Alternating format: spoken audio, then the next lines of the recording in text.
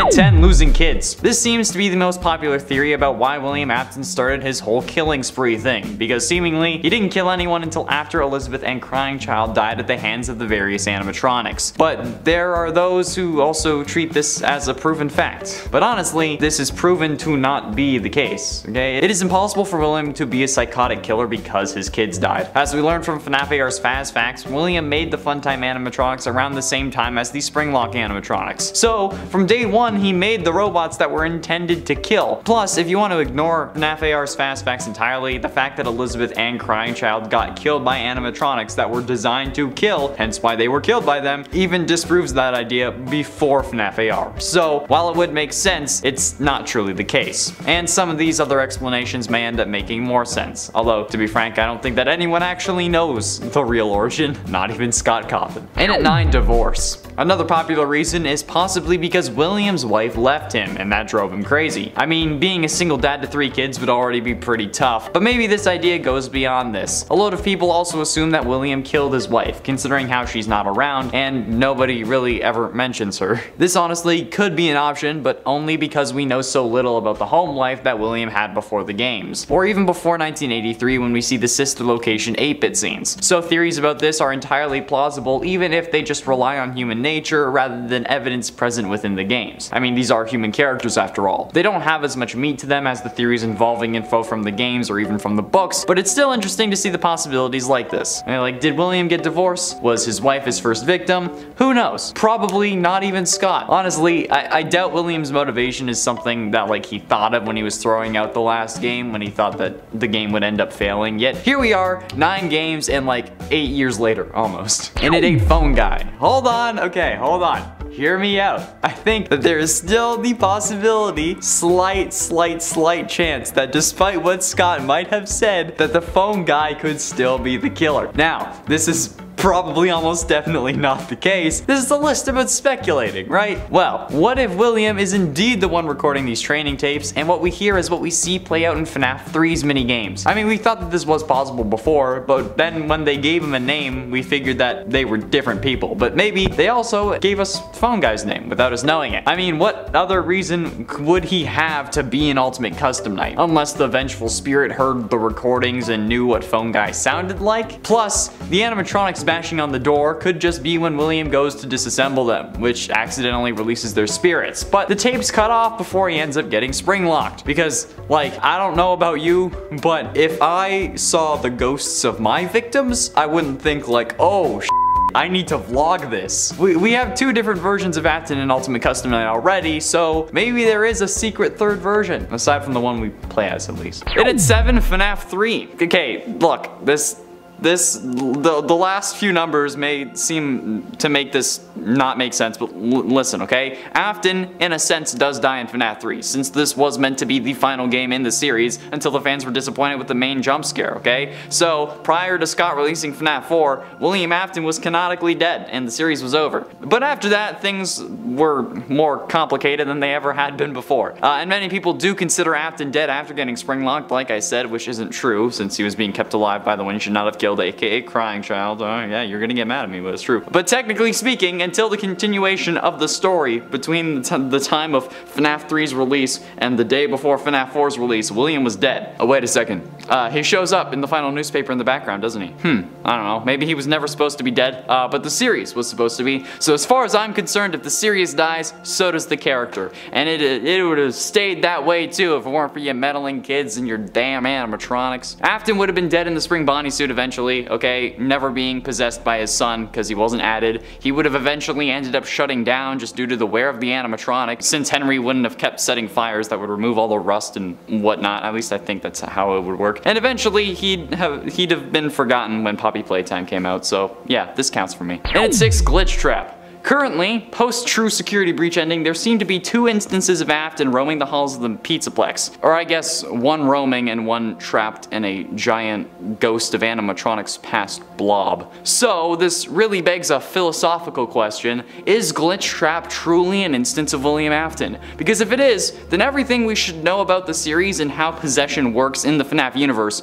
is wrong. Currently, from what we've established in this universe, there are two main ways to actually maintain life after what should have been death in this FNAF world, universe, whatever. Or at least in the games, that there's two, okay? The books also have human robots, but that hasn't been proven canonical yet. The games have Remnant and Possession, which are connected but aren't the same thing. Remnant is seemingly a byproduct of Possession, being a combination of metal and soul, showcased in the books as the five endoskeletons of the original Freddy's animatronics possessed by the original missing children's incident victims, uh, and then Possession comes before that, but Afton wasn't possessing anything, he was being possessed, and Glitch Trap is an intentional feature within FNAF VR, along with also being a virus, or I guess the virus I guess took the form of the main antagonist that was meant to be in the VR game. But it also takes control over Vanessa. The only explanation here is that either Vanessa is a robot, but then again if she is then why is she looking at herself in the rooftop ending if she doesn't have a soul because she is a robot. So maybe this needs its own video, um, maybe it doesn't, I don't know, let me know. Halfway through into number 5, Henry. In the case of William Afton, his first victim was the daughter of his longtime business partner Henry, which is hella messed up uh, because she was 3 at the time, that time being 1983.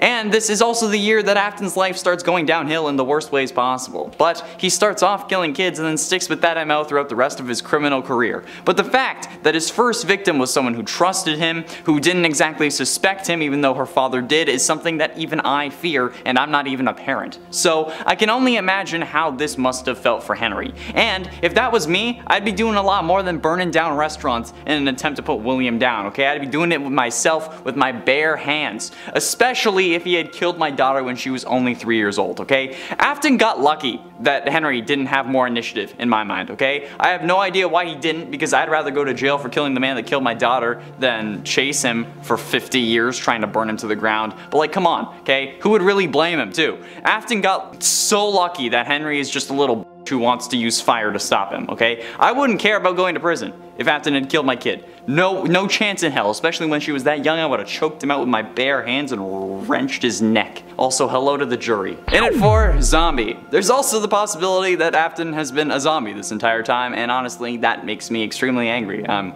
masking it though. Because out of all the things that the FNAF series has done, this would be the cheapest and the worst. Forget Dream Theory, forget this all being a storybook, forget everything else. This would be the dumbest thing that FNAF could do, since it would basically come out of nowhere, okay? People already think that Michael is a zombie after getting ennard shoved into him, but zombies aren't purple, guys, okay? And then making that into yet another, like, father-like son parallel would be so stupid and such a horrible retcon that it would be worse than it all being a dream, especially after establishing that Afton was being possessed prior to the spring locking, which would most likely have ended up with his death, and if he was made into a zombie, that would probably be his death point, okay? It would just change too much about the series series for things to make sense and would probably result in a whole lot of rage from the community. Or at least I, I hope everyone would find this stupid enough to get mad at because I would and I want to be validated. Getting close to the end and in number 3, Dream Theory. There is also the possibility that none of this was real and that everything is actually a dream, which kind of negates the whole origin story thing because in a dream, we don't need to worry about origin stories. We just worry about what's happening in the present moment. I mean, dreaming about yourself having a nightmare is a whole other level of meta, like Inception style, but but also not really because in this scenario crying child would actually be dreaming about dreaming whereas in Inception they don't know that any of those dreams are actually dreams. It's also interesting since if crying child is dreaming all of this he dreams that he also died but then somehow the dream continues past that which I've never had happen before. If I die in a dream I wake up which in my opinion makes more of a case for him being the vengeful spirit but I don't like dream theory because it feels cheap so I'm not even going to entertain the thought of it any more than I have to. If dream theory is correct, which seems to be no longer the case, but maybe it was intended beforehand, then the origin of William is totally obsolete. So um, let's hope it's not dream theory. But ultimately, in a number two, time loop. Could Afton be stuck in a Groundhog Day-like scenario? Instead of a day, it's however many years. I mean, this one is absolutely wild and 100% guaranteed not to be the case. But ever since time travel was introduced into the series, it's a whole other thing now. Literally, the first Fazbear Frights book had to do us like that. Anyway, what if William actually started living living his life on repeat, the same thing over and over. That would drive anyone crazy. I mean, like, just look at what happened to Bill Murray. But if we ended up thinking about it, if William didn't think that there were consequences and then he went berserk, maybe he started offing people because he could, but then the cycle broke. It's absolutely ridiculous, and again, 100% not the case, but it's pretty interesting to consider. I mean, the time traveling ball pit had the golden Bonnie and was introduced for a reason, right? Maybe it's to show that Afton is all about time travel or something along those lines. Again, no way this is real, so don't yell at me in the comments. It's a stupid idea, but it's fun to think about nonetheless. And finally, in at number one, psychopath. There's also the classic reason that there is no reason, and that William is just your typical run-of-the-mill psychopath who has no remorse for any of his actions. Now, the vengeful spirit, referred to as the one you should not have killed, seems to prevent this theory from being true, since if he had no remorse, nobody would be considered the one you should not have killed. But remember that actually, they named themselves. William didn't actually name them because the manifestations in his head were made by this vengeful spirit who wanted him to suffer. So William might not have considered them, whether it be Cassidy or Crying Child, one that he should not have killed, or at least had a hand in killing, but they could have considered it and like, ah, you shouldn't have killed me because now I'm possessing you.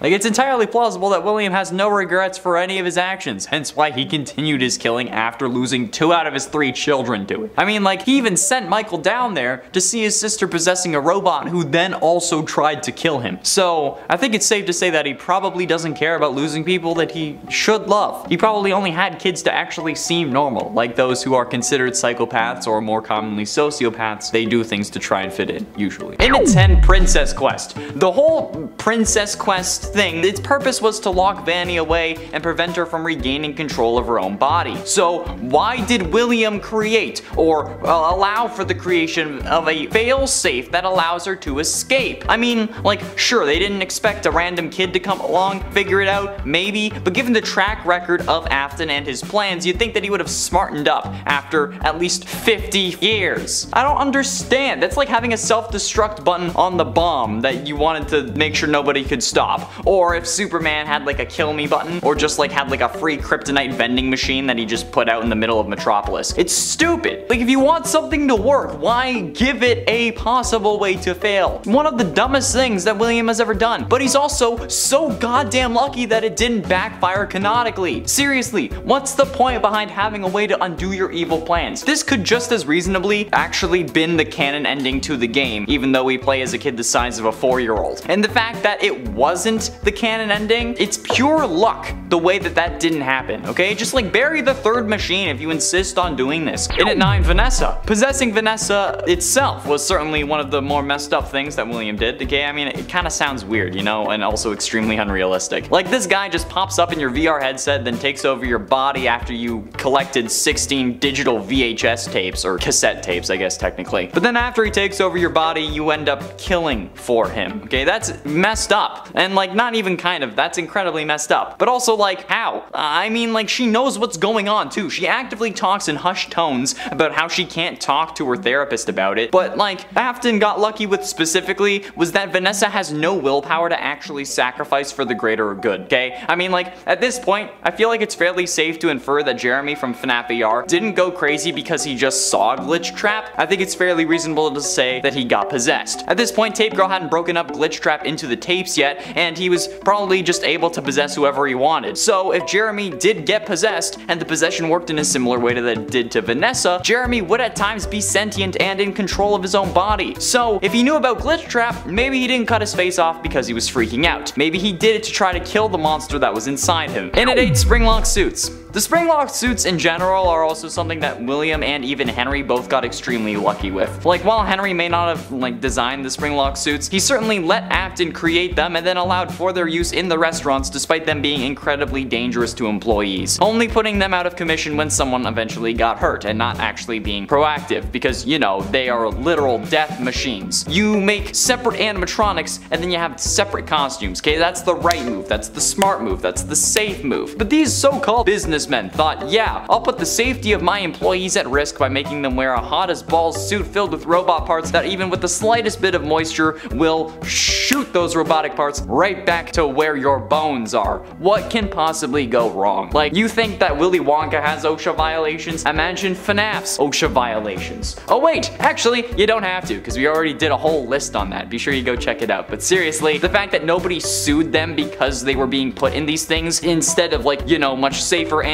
cheaper options of, you know, a fabric suit is insane. And it's of an accident. Now, aside from me, maybe this whole deal was an accident, right? Maybe more so than just his kids getting killed by robots intended to kill. Maybe William's real first victim wasn't Charlotte. Maybe he did kill his wife, but accidentally. Maybe they were a bit too rough, or maybe she had a condition that made her susceptible to falling or something, and William accidentally tripped her. Maybe when that happened, in whatever way it did, William saw the life leave her eyes and liked but then wanted to see how it would look on a kid. So he set about making robots that would help him see it. But his kids got got instead. But then he still liked the sight of it so much that he continued. Maybe he wasn't built like it, but the sight of watching someone die, maybe even his wife or lover, awakened something deep within him that then propelled him to kill. It's nothing new, it's happened to plenty of people before, but William is dangerous. He knows how to cover his tracks. Despite the absolute buffoonery of his methods, the cops were none the wiser. Or maybe he was just paying them off. In at 6,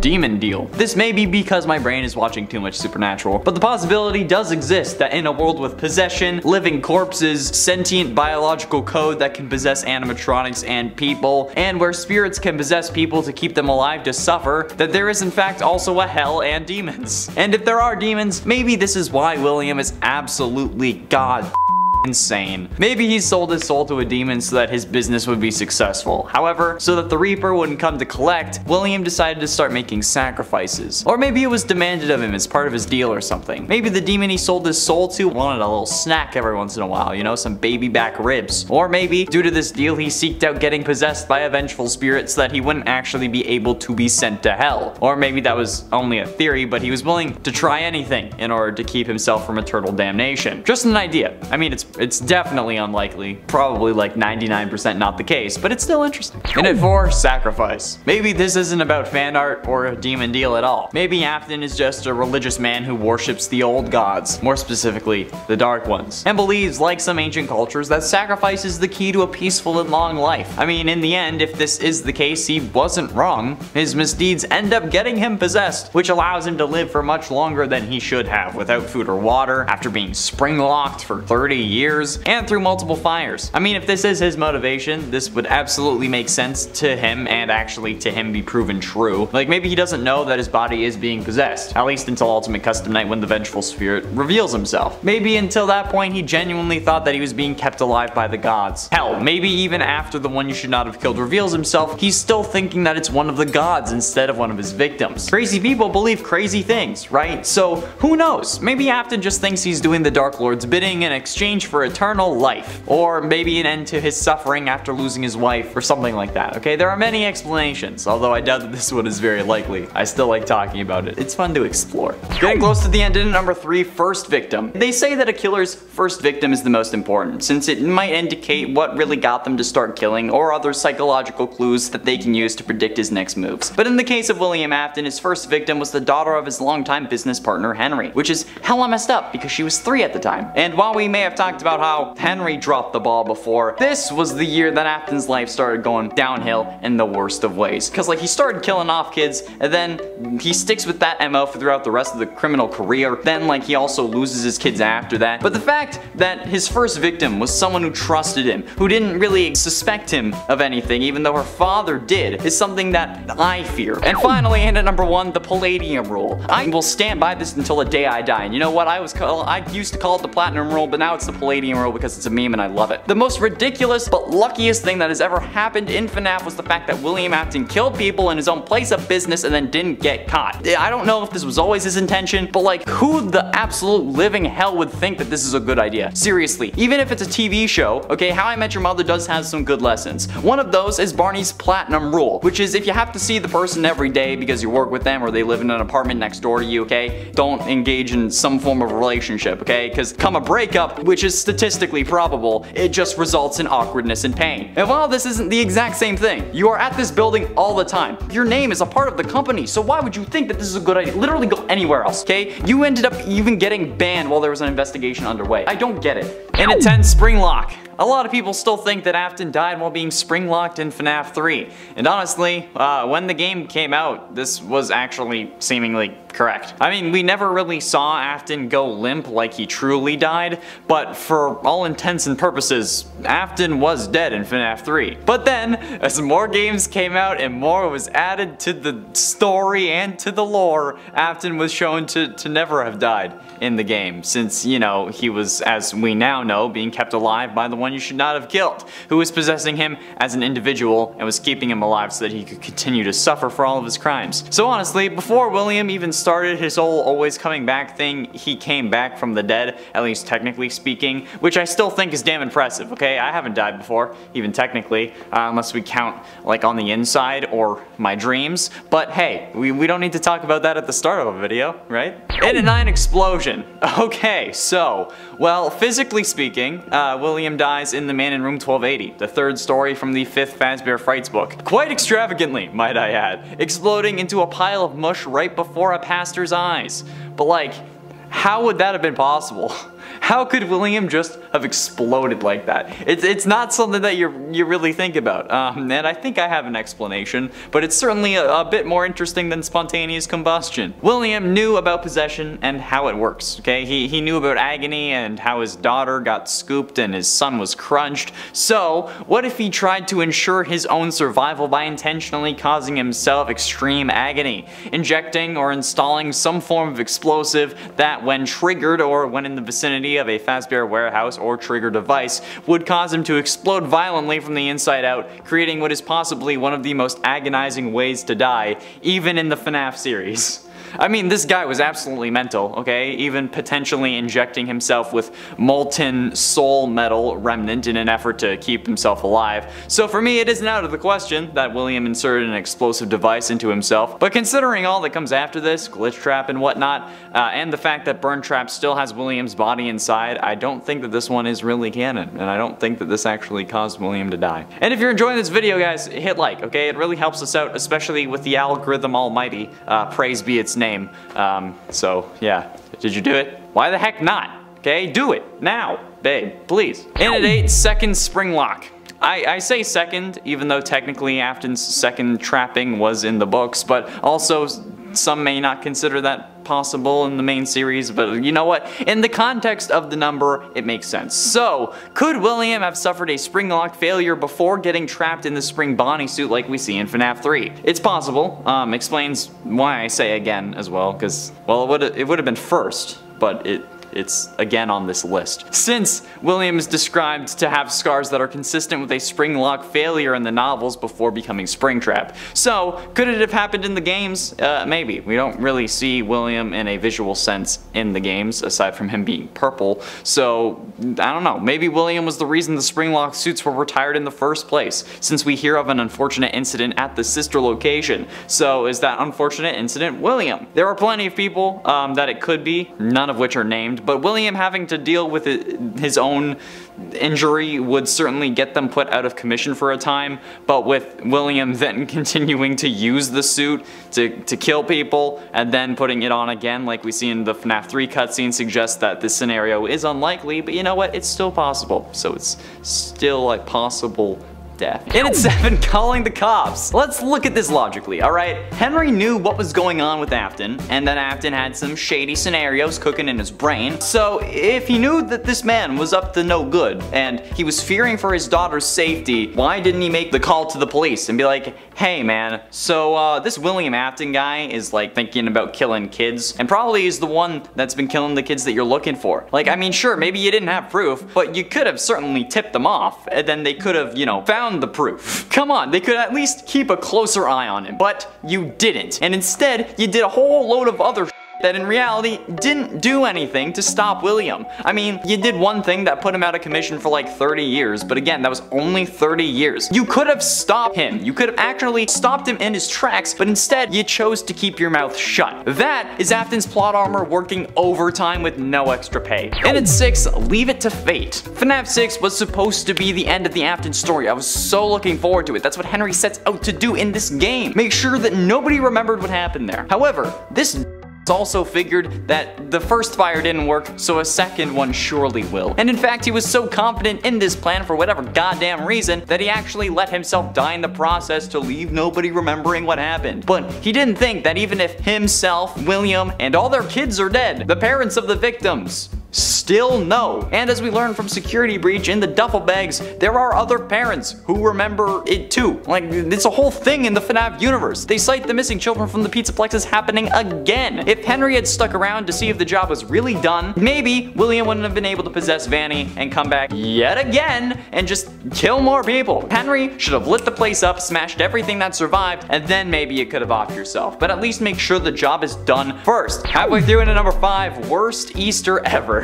Okay, from an in-universe perspective, in Security Breach, Vanny brought back seemingly this Earth's most prolific killer. But from a story perspective, it also kinda comes out of nowhere and feels forced. And in a game sense, he also just looks terrifying and then sends all the broken animatronics after us. And lore-wise, Afton's back again. However, he's also not entirely back this time, considering how this version actually seems to finally be dead, however only functional because maybe the coded version of Afton's consciousness is inside the animatronic. No matter what, this shouldn't have worked. He shouldn't have been able to have a sentient code form possessed Vanny, but then also be able to be present in his actual body. Like what? Unless this entire time after getting spring locked, his consciousness was instantly turned into a code, and that was then controlling the Springtrap suit, and in a way I guess would make sense. I mean, it would make a lot more sense than him being possessed by the spirit of his son. But from everything we've gotten, including Ultimate Custom Night and the man in room 1280, he was possessed, but to be kept alive so he could keep suffering, okay? Meaning that none of this should have worked right. But it did, and it forsprung. So this absolute animatronic genius,